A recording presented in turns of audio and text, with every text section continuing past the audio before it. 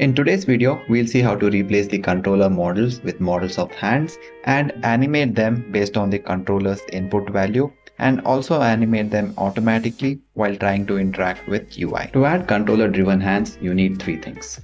First is a 3D model of a hand. You can design your own hands using any 3D modeling software and rig it, or you can get it for free from the Oculus website and modify it like how we did for our VR course. Or if you have the budget, you can get some of the paid assets from the asset store as well. Depending on the type of experience, you can either have human hands or alien hands. It's up to you.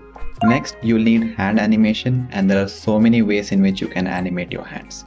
You can do it in Blender and then export it or you can record the animation in Unity itself. But the type of animation and the number of animation depends on how you want it. What I've seen most people do is have three different animations. One for when no button is pressed, that's when the hand is in its normal state. Second is when the grip button is pressed, that's when all the fingers are curled. And the third one is for when the trigger is pressed, that's when the index and thumb are pinching. And then they set up a blend tree with these three animations and play the animation based on the button and the value of the button pressed. But the issue here is that the animations are constrained. Let's say you want to grab a gun by pressing the grip button and you want to close just these three fingers. It means that you'll have to create a new animation. So, is there a solution? Yes, it is to create one animation of all the fingers closing and create a mask for each finger. So now, for the grip animation, you can add mask for your index and thumb and play the animation for rest of the fingers. Similarly, for trigger animation, you can add mask for all the other fingers except for the index finger and play the animation. So this takes us to the next thing that you will need and that is a script to control these hand animations. The main function of the script is to take the input values from the controller and animate the finger based on your requirement. Now while scripting, remember to make it modular so that you can add and animate any hand pose later on during the development process as well. Now we have a Unity package that has a hand model with animation, animation controller, finger masks and script. This package is a part of our VR course, but you can get it for free.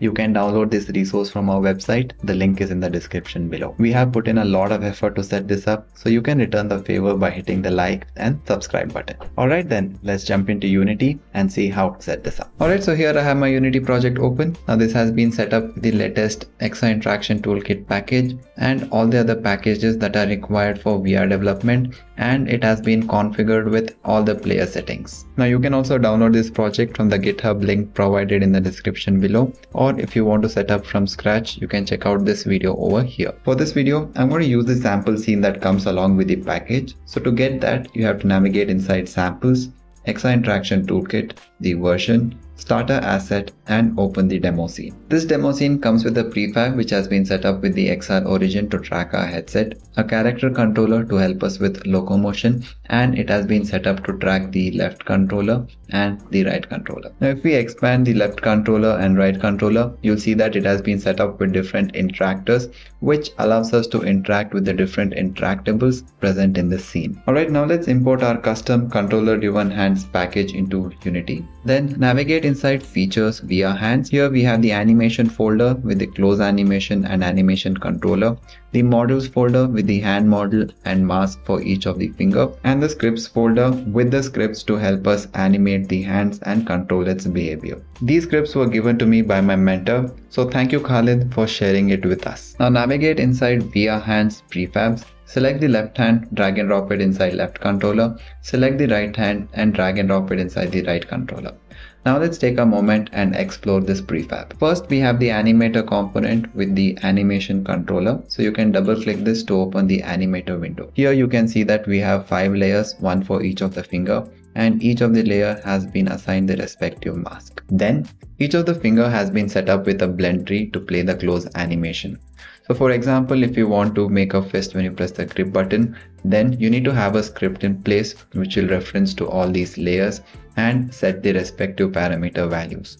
When the parameter values are set, it's going to go inside the blend tree and it's going to set the value over here. And as you can see, based on the value, it's going to play the animation. So we have the hand animator script, which is meant to manage animations, which is why we have the required component of type animator. Here we have three variables which have been set up to get the input values from three buttons as of now. The first one being the thumbstick. So it's going to give you the X and Y axis values. The trigger button and the grip button. Now if you want to get the input values of other buttons like primary and secondary buttons to play some animations then you can add those here. Then we need to create parameters to store the list of fingers that require animation. For example for grabbing animation we need to close the middle ring and pinky. For the trigger animation we want to close just the index finger and to show the thumbstick movement we need to close the thumb finger. Now similarly you can go ahead and add a list of all the animation that you want. Now for example if you want to make a fist animation then go ahead and copy this paste it here change the variable name and as you know to make a fist we need to animate all the fingers so I'm going to add those here as well. Now since we're not going to use this for now, I'm going to comment this out. Next in the start method, we're going to reference the animator component. And before we look at the update method, let's have a look at the helper functions. First, we have the set finger animation values, which is going to get the parameter with a list of fingers and it's going to set the target value that we provide. Then we have the animate action input method, which is going to take the list of fingers and animate those fingers. Now the reason why these two functions are separate is because you can have different target values for different fingers. And then finally in the update method, if there are any input values then it's going to read those values it's going to set the animation values and animate the fingers. So here we are back in unity. Select the left hand prefab and let's add the input action reference. For the stick input search for xri left thumbstick and add that. For trigger input search for xri left interaction activate value and add that. And for the grip input search for xri left interaction select value and add that. Now let's do the same for right hand as well, but make sure to use the right hand input values.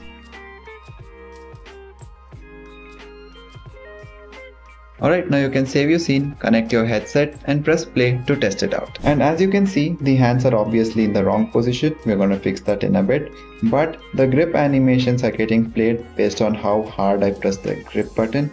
Same thing for the trigger button and the thumbstick as well. Now to fix the hand position, while you're in the play mode, select the left hand prefab and adjust its position until you're satisfied. Then click on the three dots on your transform component and copy its position.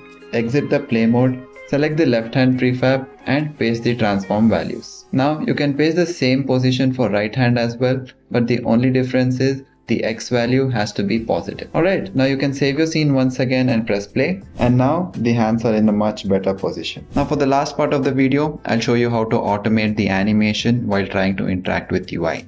And for that, you need to navigate inside features VR hands, scripts, and open the hand animator script. So here in the hand animator, first we need to add a reference to the XR poke interactor and we need to create a variable to see if the UI animation is playing. Then we need to create a variable to store the list of fingers that needs to be animated. So it's going to be all of them except the index finger.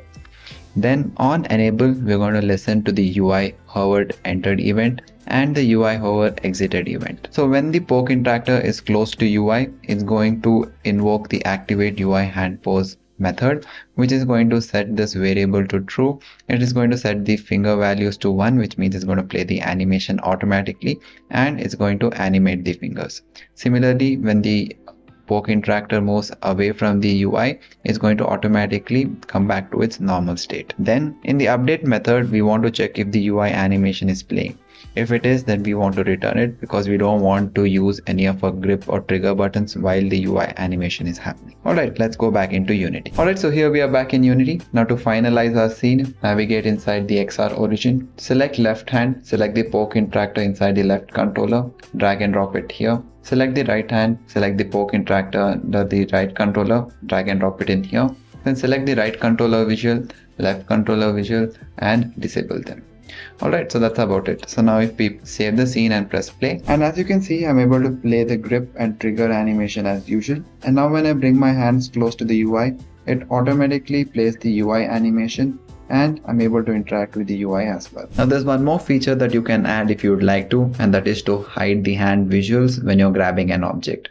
And to add that, navigate inside features VR hands scripts, select the left and right hand prefab and add the hand visibility toggle script to it. Then select the left hand and add the near far interactor over here select the right hand add the near far interactor over here like this and now when you play and now you'll be able to grab an object from far distance and the hand grab animation is played However, when you grab it from a closer distance, the hand disappears. And that's it for this video. Thank you so much for watching. Make sure to like and subscribe and I will see you in the next one.